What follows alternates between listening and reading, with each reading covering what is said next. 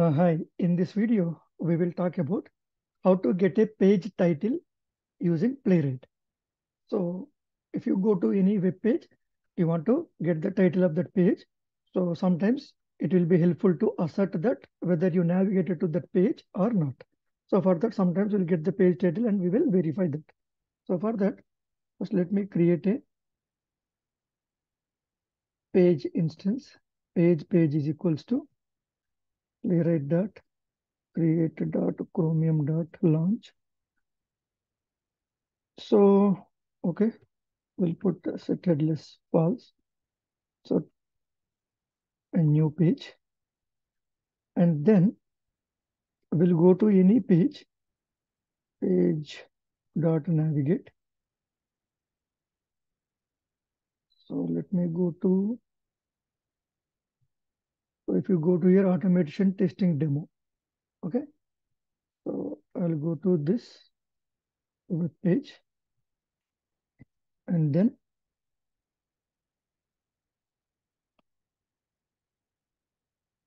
we'll say AT site page title. And I'll print the how we can do that? Page dot title. That's it simple. Otherwise you can directly take string title is equals to page dot title. And you can print the title here. So what is the method? Page dot title will give you the title. So if i go to another web page page dot navigate if i go to google.com and then that is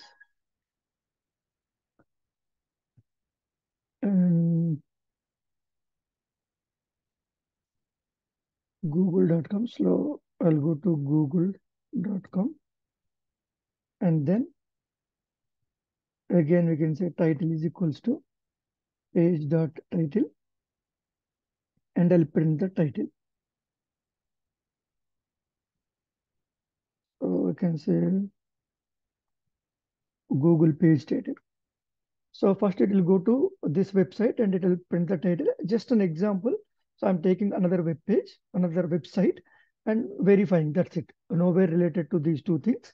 But uh, you can just verify whether it is printing the proper title for each and every website or page how you know we want so we don't need actually all these things. We can directly say page dot close. No need to wait for that. Uh, we can observe the console. So let me run this one.